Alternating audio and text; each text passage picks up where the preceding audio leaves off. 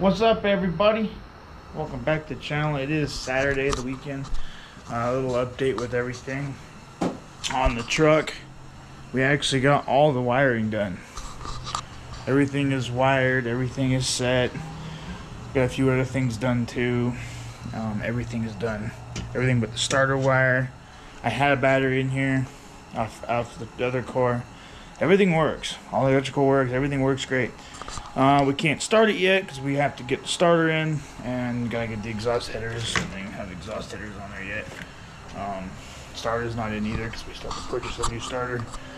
Uh, other than that, that's pretty much ready to go, and the accessories and everything else, and it's pretty close. Hopefully, here the next little bit we can start this thing up. But uh, today we're not gonna be working on the Ranger. Uh, today, I gotta change the oil in the Jetta.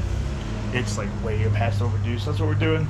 And then later tonight, we do have a little thing we're going to at an arena. Hopefully, you guys will enjoy that. I'm just gonna get a video of most of them. Uh, it's supposed to be a triple threat series tonight, so yeah. should be a fun night. But yeah, this weekend's not really any car material because it's gonna be a busy weekend, and I have to go a little bit of traveling on Sunday, so not gonna be a whole lot of video this weekend. No car work or anything. Um, other than that, yeah. So that's what we're doing today. Just changing oil having fun this little get together at the one of the arenas for the triple threat threes, and that's pretty much about it. We'll see. All right, everybody. It's been a few hours since we last talked about anything when I was on my way to my little thing tonight at the arena. So we'll get there. We are walking there right now. This is where we're at right now. But uh, yeah, we'll get there. Get in and we'll see everything. Well, we're at the arena. I don't know if you can hear me, but. Uh, yeah, we're here about 20 minutes so for the competition start, but you know, if you guys can see it, they're all sitting there, all over. Yeah, get you later when we get going.